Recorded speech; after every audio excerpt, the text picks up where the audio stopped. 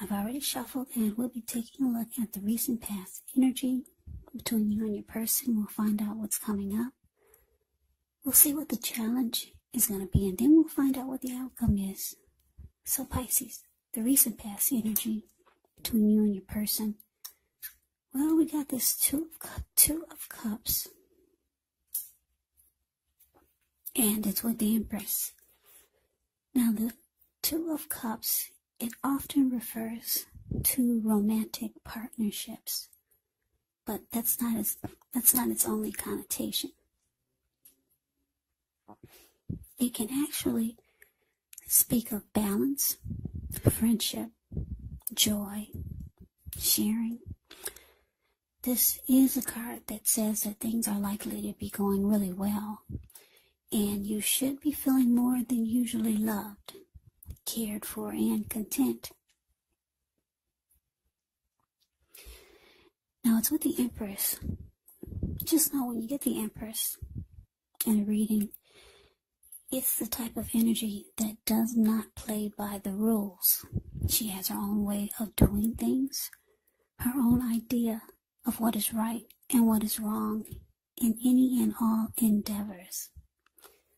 Now, this does not mean that she'll always get her way, but the Empress is a reminder not to ignore your creative side, your intuitive side, it's about coming abundance. But don't make the mistake of thinking that that will always mean financially. Because we all know that there's many types of wealth and riches in life, and money is actually only, only one of them. As the Empress, you can have it all. Yeah, the Empress can have it all. With the Empress, with the Empress, it's a very potent time for love. You could find that men and women alike, all of a sudden, they're finding you far more attractive, both in terms of friendship and romance. Yeah, so you'll be attracting all kinds the good, the bad, the ugly. And sometimes it's going to be hard to tell which is which, if you can believe that. So, the recent past energy like I said, between you and your person, Two of Cups clarified by the Empress. Yeah, so, Pisces, I'm getting that. There is someone in your energy. I'm not sure if this is the person that you're involved with or someone that you know or I'm getting that it's someone that you you already know. I'm not sure if it's the person that you're involved with, but someone that you know, somebody who is in your world or someone that you you're dealing with now. Maybe somebody that you used to know, they they've got you on their mind. I don't know if you if you ran across this person, but like I said, they're starting to see you in a different light. They're starting to see that you're shining. Very beautiful. They're becoming very, very attracted to you. This could be someone that you see every day or every week at a meeting or at church. Yeah, I don't know if you're starting to look different, if you got a new look, a makeover, but this person is, yeah, you got somebody that's got you on their mind a lot. Yeah, they're starting to see you as the ideal partner with this Two of Cups here. They're starting to see you as someone that um, would bring balance to their life, a true love. Yeah, because the Two of Cups is actually all the things that most of us hope for when it comes to love and relationships. Yeah, so somebody sees you as, like I said, the ideal mate, a romantic partnership, and for some reason, all of a sudden they're finding you far more attractive than they ever have. Something's going on here. I don't know. Like I said, maybe you got a makeover, a new wardrobe. Maybe you're just now putting yourself out there on social media in a different way, more seductive. I don't know what you're doing, but somebody is really, really into you. Really. Maybe it's the person that you're dealing with romantically. Could be. So, yeah.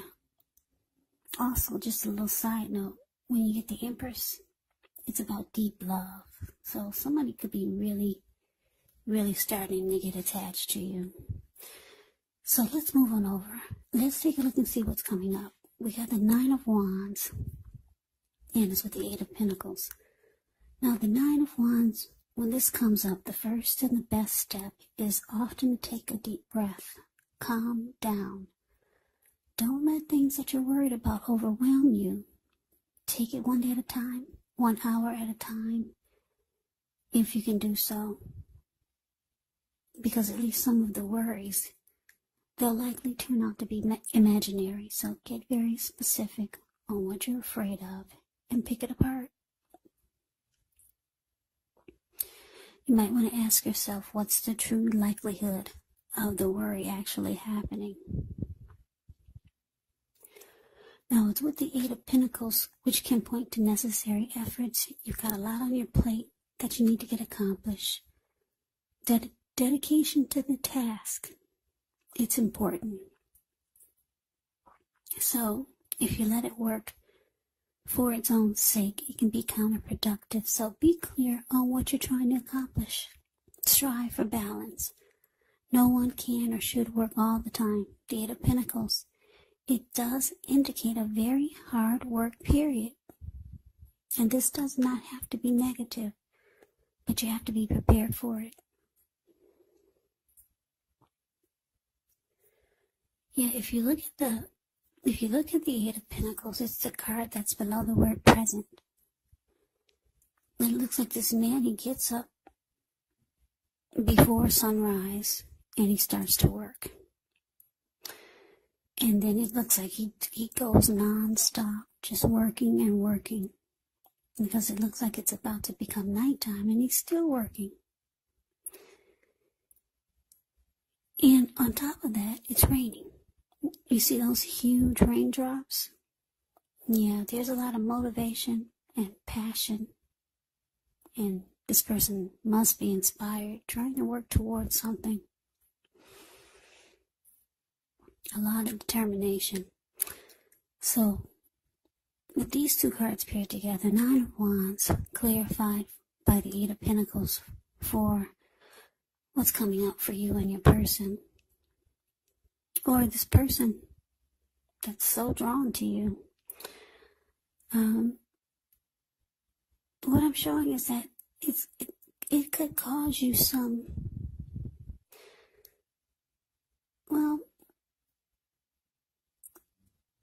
in your mind, you're not, I don't think you're letting this person know, but in your head, because the Nine of Wands can be about things in your head Okay. So what I'm thinking or what I'm feeling is that in your head, you're going to close yourself off to this person. When I say in your head, these are your thoughts. You're closing yourself off to this person. Whoever this is that's, that's finding you the ideal mate. Whoever this is. Yeah, you're going to barricade yourself. That's what this Nine of Wands does. No one gets past their barricade. Yeah, so I'm showing that you you're gonna decide for a lot of you to close yourself off to this person, to this situation. Because like I said, the Nine of Wands, no one gets past their barricade. They're not budging. They close themselves in and they just sit there. But because it's with the Eight of Pentacles, um, it looks like you'll probably make busy. Yeah, you'll make busy. You won't have time for this person. You'll let them, you'll give them that impression. And you're making sure that they don't come anywhere near you. For some reason, you got somebody that wants to be with you, but you're closing yourself off. And you're either really busy or you're making busy. So we move on over and we take a look and see what the challenge is going to be. We got the queen. No, that's justice. Yeah, justice is at the top and then queen of wands is at the bottom. Okay, so justice, it actually deals with the ideal of karma and the law of cause and effect. So it's important to remember that not everything you're dealing with is a direct result of your own actions or karma. Because sometimes we're called upon to deal with the results of the actions of someone we care about. So don't blame yourself unnecessarily. Now, if you're directly involved in a court case, it's likely to be resolved at least a large degree in your favor. Now, it's with this Queen of Wands. Queen of Wands can refer to a woman. She'll have a lot of fire type of energy. She could be Aries, Leo, Sagittarius. So when this is not referring to an actual person, she stands for getting a lot accomplished and often a focus on work or career. The Queen is really positive, uplifting energy. So when she stands for actual woman in your life, she's a really good friend who is 100% on your side, even though she could seem a bit self absorbed. And if you're trying to conceive, and you get the Queen of Wands in the reading, this is actually one of the more positive signs that there can be. So, the challenge for you, Pisces justice with the Queen of Wands. So, yeah, this, this reading is kind of not easy to read or get the full picture, but I think I'm starting to make sense of it now. Okay, this person that's that's starting to see you see your light shine and they're becoming more and more attracted to you. Um, you're deciding to close yourself off and you're just making busy. You're not really that busy. Because when you're interested in someone, you make time for them. So you're making busy, you're closing yourself off. This person is someone that you used to be attracted to, very drawn to, and you found them to be the ideal person for you, the ideal mate, the perfect mate. But they weren't interested in you then. But now that your light is shining, you got some new look or some pretty pictures on Facebook or whatever you're doing now. They are really, really into it. This person wants to be with you. You feel like justice is going to be served. Finally. This person's really determined about you with the Queen of Wands here. The Queen of Wands is about being determined. Could be very egotistical, used to getting what they want. Very confident. This is this person that's after you. They're very determined now, but before they were not. They could care less, probably, before, but now something is different about you. They're all in. They want you for the, for um, a partnership, commitment. They see you as the perfect person for them now, but not before. So, boy, you you're about to let them have it. Because if you look at the picture of the justice card, you probably can't you can see it if you put your camera if you put your um your screen on full blow it up. You can take a good look at the details of the justice card. Yeah you're about to let this person have it. That's how you're feeling at least. This lady in the justice card is the card above the word challenge. She's she bitten you she bit into a pomegranate. She's got it in her hand, if you can see it. And she's, she put a big chunk into it. She bit a big chunk out of a pomegranate. And if anyone has ever had a pomegranate, I think they're called pomegranate apples. They usually come out around Halloween. If anyone has ever had one of those, those pomegranates with all the little red seeds in them, you know how tough the skin is. So look, take a look at the justice card. She actually took a big, huge chunk out of it. And then she took her other hand, her fist. She's got her fist balled up. And she's like, bam, pow. You're about to get it. I'm about to give it to you. It's time for payback. Payback. Yeah. payback. It hurts. So that's what she's, that's what you're thinking yeah, it's like, it's like, okay, you didn't want me then. When you want, when you were ready and you wanted them. So now they come in, whoever this is, it looks like they're, they're, they're turning around. Now they're seeing you in a different light. They want you now. I don't know what you did to yourself, Pisces.